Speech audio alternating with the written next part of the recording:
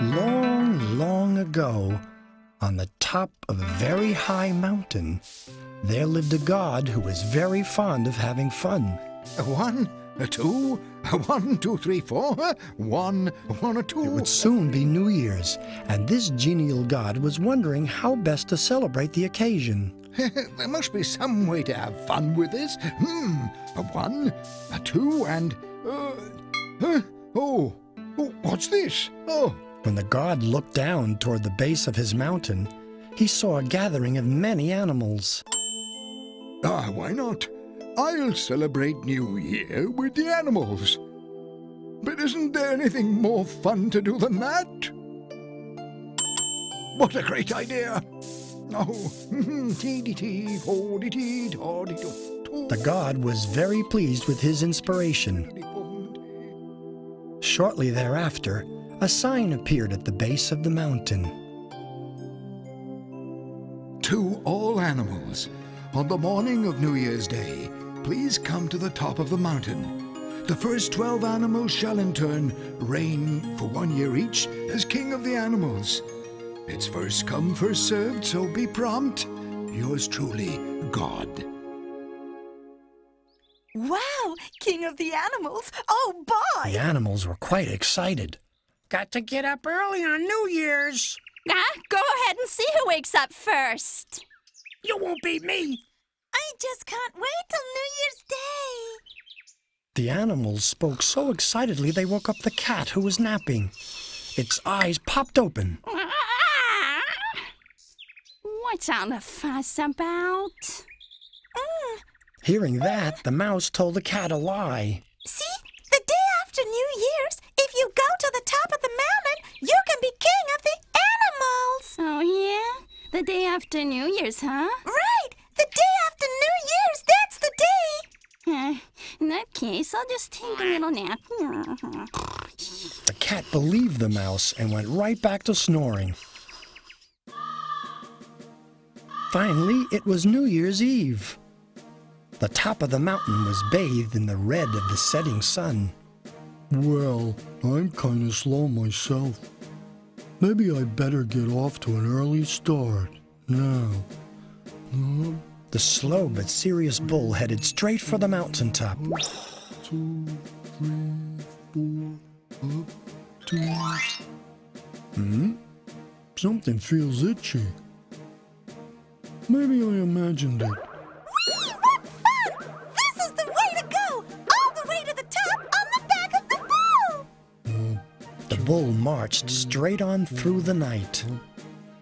Ah, Before dawn, the other animals began to rise. nobody can beat my bounce for boing, boing, boing, boing, boing, boing.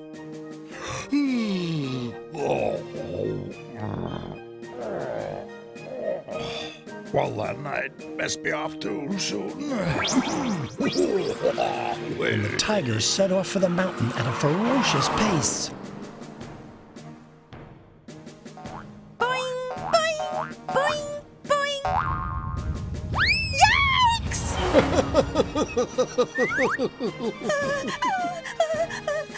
It wasn't only the animals of the local foothills who headed for the mountaintop.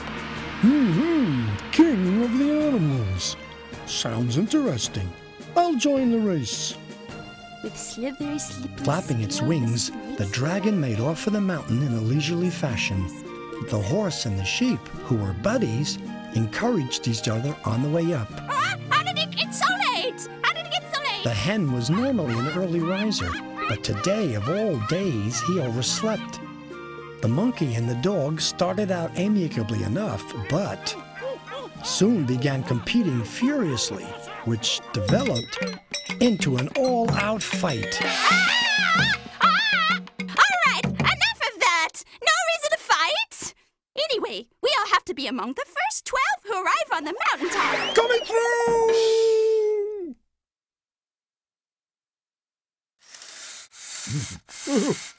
through! oh, oh, oh.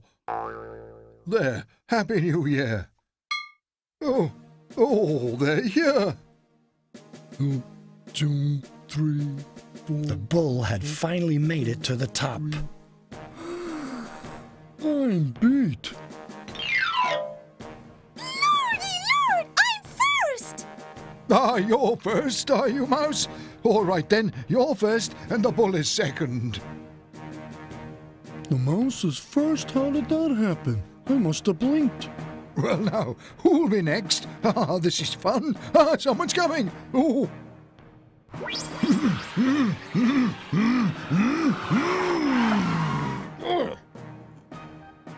good. Third place is decided. Phew, that was scary. That tiger is fast. The rabbit is number four. Ahoy there! I got here plenty fast.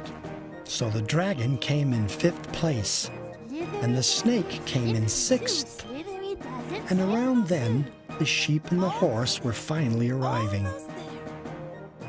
Are there really ghosts on these mountain roads? You'll be fine. I'll kick 'em with my hooves. With the horse's encouragement, the sheep was at last able to complete the climb. Thank you, horse. You should cross the finish line first. Really? Well, here goes. And thus the horse became the seventh to arrive, and the sheep the eighth. Are you still at it? Oh, no! I'm going on ahead. Hee hee, I won't lose out to you two. We better get on, move on too. So the dog and the hen arrived at the summit together. Huh? Uh, too late.